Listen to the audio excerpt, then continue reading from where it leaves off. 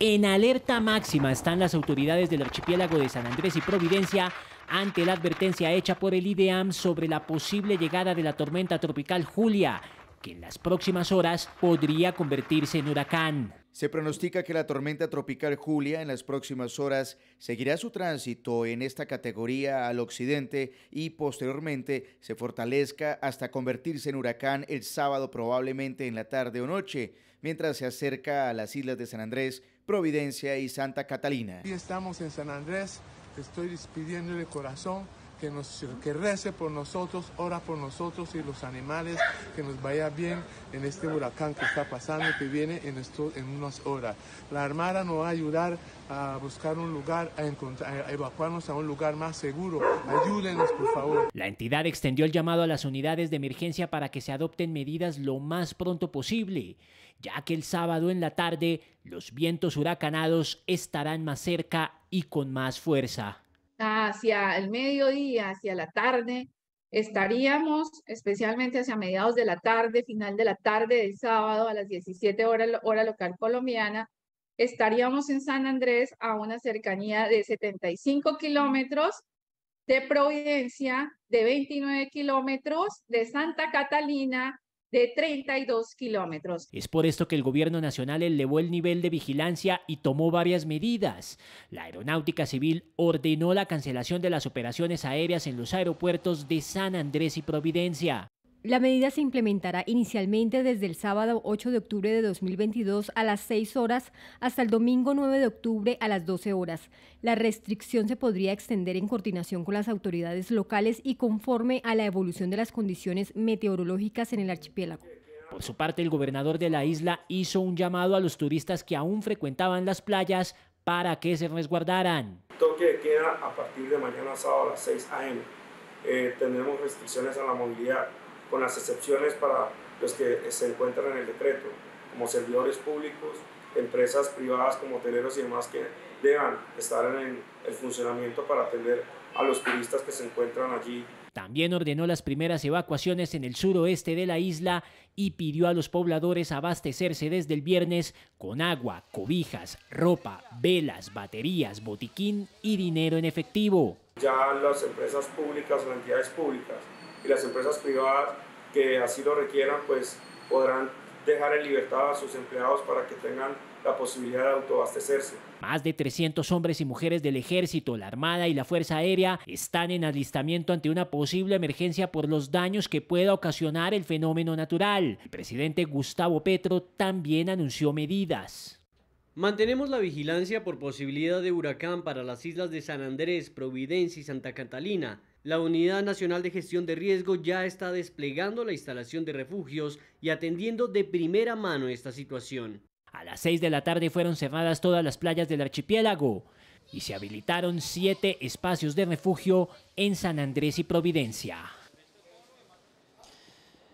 Y sobre este tema de los refugios habilitados por las autoridades, la personera de Providencia y Santa Catalina emitió también hace pocos minutos una alerta, pues dice que no tiene claro cuáles son los sitios en donde fueron habilitados estos lugares para atender eventualmente a las personas que resulten damnificadas. Esto fue lo que dijo hace pocos minutos la personera de Providencia y Santa Catalina.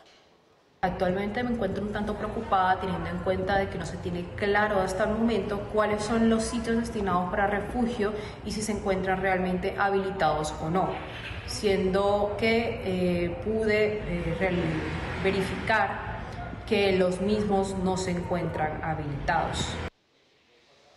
Y la Aeronáutica Civil también hace un llamado a las aerolíneas para que mantengan continuamente informados a los pasajeros que tenían vuelos programados hacia San Andrés y Providencia. Información con Alexander Gómez para Red Más Noticias. Muy bien, Alex, pues seguimos muy pendientes. Además de San Andrés, en la región Caribe, La Guajira, Santa Marta, Barranquilla, pues también están en alerta por el paso de esta tormenta tropical Julia. En algunas zonas ya se registran fuertes lluvias, también se registran inundaciones. Kimberly Martínez, buenas noches. ¿Cuál es la situación a esta hora en Barranquilla? Hola Jenner, ¿qué tal? Muy buenas noches. Pues el fin de semana en la región Caribe estará azotado por intensas lluvias. A esta hora ya está lloviendo nuevamente aquí en la capital del departamento del Atlántico. El IDEAN estima que se presente un incremento significativo en la nubosidad, lluvias intensas y también tormentas eléctricas, no solamente aquí en el departamento del Atlántico, sino en La Guajira, en Bolívar, Sucre y Córdoba. En La Guajira ya se presentaron las primeras afectaciones, inundaciones en el casco urbano de Riohacha y en los municipios de Maicao, Uribia y Manaure. Las autoridades aquí en el Departamento del Atlántico no han emitido ninguna restricción al momento, pero sí recomiendan estar atentos a los canales de comunicación para estar atentos a cómo evoluciona este fenómeno natural. La tormenta tropical Julia ya causó estragos en el departamento de La Guajira. Aunque aún no se tienen cifras exactas de las inundaciones ocasionadas por las fuertes lluvias, los municipios más afectados son Riohacha, Maicao, Manaure y Uribia. Los resultados con el paso de la tormenta 13 por el municipio de Maicao es barrios incomunicados, inundaciones, evidenciándose una vez más la falta de planificación de la ciudad y muchas personas que hoy amanecieron sin el sustento diario de sus familias, por aquí vivimos del día a día. En las playas de Santa Marta se mantiene la alerta por el paso de la tormenta tropical. La Capitanía de Puerto restringió el zarpe de embarcaciones menores. Se espera que incida en la continuidad e intensidad de las lluvias, el incremento en el caudal de los ríos, la saturación por agua en cerros, la velocidad de los vientos, la presencia de actividad eléctrica y la altura del oleaje. Por esta última posible consecuencia, la Dirección General Marítima de Mar, a través de la Capitanía de Puerto de Santa Marta, ha decidido restringir el zarpe de embarcaciones, en Barranquilla se estima un incremento en las lluvias con tormentas eléctricas, olas de hasta 3 metros de altura y vientos de 60 kilómetros por hora. Sin embargo, no esperan una mayor afectación en el departamento. No esperamos que eh, haya una afectación a la navegación en el canal de acceso ni tampoco de las embarcaciones menores, así como tampoco esperamos tener restricciones para el ingreso a las playas durante estos días. Los cuerpos de socorro en las playas de Puerto Colombia se encuentran en alistamiento y con especial atención a embarcaciones pequeñas y bañistas. Tenemos el cuerpo, cuerpo de socorro en alistamiento primer grado, bomberos, defensa civil Ponazar. Eh, tenemos eh, restricciones de embarcaciones eh, de calado pequeño por parte de la DIMAR y con salvavidas estamos haciendo seguimiento y control a los, turistas que están en la zona de balneario. Cartagena no tendría un impacto directo de la tormenta, pero se podría ver afectada por las lluvias asociadas, por lo que las autoridades mantienen el monitoreo del paso del fenómeno natural y piden a la ciudadanía mitigar los riesgos asociados a las precipitaciones en la ciudad. Nos tenemos que preparar para otra eh, fuerte lluvia en este fin de semana que se nos aproxima, pero tenemos que hacer todo el tema de acciones preventivas. Recordemos que el tema de permanecer en nuestras casas es supremamente importante, el no salir durante la lluvia, especialmente por los fuertes arroyos que crecen en algunos momentos en el distrito, pero adicional a eso es, si en algún momento ustedes se ven que la casa no está en las condiciones para eh, mantenerse eh, durante el momento de lluvia, es supremamente importante que usted evacúe y se vaya a un lugar mucho más seguro. Las autoridades solicitan estar atentos a las comunicaciones y en caso de ser necesario se anunciarán restricciones. Seguimos muy pendientes de la tormenta tropical Julia. Según el ideal, mañana se convertiría en horas de la tarde, horas de la noche, en huracán. Saludamos a esta hora a Ever Hawkins, el gobernador de San Andrés. Señor gobernador, gracias por atendernos. Karen, muy buenas noches. Un especial saludo para todos los televidentes de Red Más en todo el archipiélago y especialmente en todo el territorio nacional. Bueno, ¿cuál es la situación hasta ahora? Bueno, la situación en este momento es que tenemos la tormenta tropical Julia. Eh, hacia las 7 de la noche la predicción, la probabilidad de que se convierta en huracán, categoría de, huracán Julia. Eh, y estamos tomando las medidas. ¿Cuáles son? Las medidas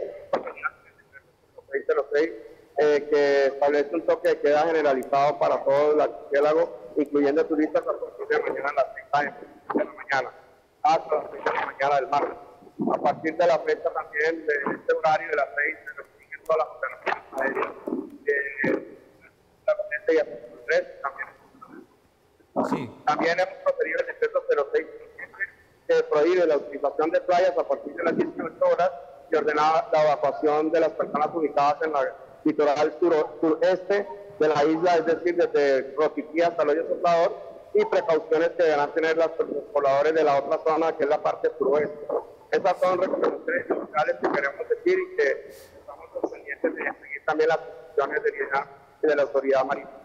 Claro, gobernador, con el tema de los turistas, con el tema de los habitantes cerca, eh, prácticamente a la costa, sí han hecho caso porque era el llamado de atención de que a pesar de todo, a pesar de los fuertes vientos, todavía habíamos turistas en playas. Bueno, eh, en este momento eh, estoy en la peatonal, estoy en la playa, eh, podrán escuchar están pues aquí, estamos siguiendo el de las recomendaciones la autoridad. Eh, a partir de las 6 de la mañana, y demás, vamos a Pero la restricción real y, efectiva que se debe acatar es la de mañana a partir de las 6 Mire, le pregunto, tenemos hasta el momento tormenta tropical. Lo que dice el IDEAM es que mañana, horas de la tarde, horas de la noche, podría ser huracán categoría 1. ¿Eso qué significa? ¿Qué riesgo tenemos con que sea huracán para San Andrés? Bueno, tenemos que decir que de acuerdo al último reporte del IDEAM, eh, del Centro Nacional de Huracanes, eh, se prevé que para mañana aproximadamente a las 7 de la noche pudiera, pudiera presentarse la, la variación de este fenómeno que se llama tormenta tropical Julia a huracán categoría 1. Estamos esperanzados en que esto pues si se forma, se forma encima y, transite rápidamente. Eh, es una realidad ya tenemos las medidas, como había dicho, contempladas en el decreto 0606, que es el toque que queda generalizado para todos los habitantes, incluyendo turistas, a partir de las 6 de la mañana, y el decreto 0607 que culmina y ordena la evacuación de todos los que están al borde del, litoral del suroeste, desde Roquiquí hasta el hoyo Soplador. Y en la parte suroeste, pues con las recomendaciones de alejarse lo más posible de las altas marejadas que vamos a presentar a partir de mañana. Gobernador, dice la personería de San Andrés que aún no están habilitados los albergues. ¿Eso es cierto? No, eso es completamente falso. Tenemos seis eh, albergues o refugios temporales que están ubicados y definidos, el Colegio Flower Hill, Colegio Bolivariano, el Colegio El Esfuerzo, el Vive Digital de Taribé, la Casa Lúdica del CUOC y la Iglesia San Francisco de Asís.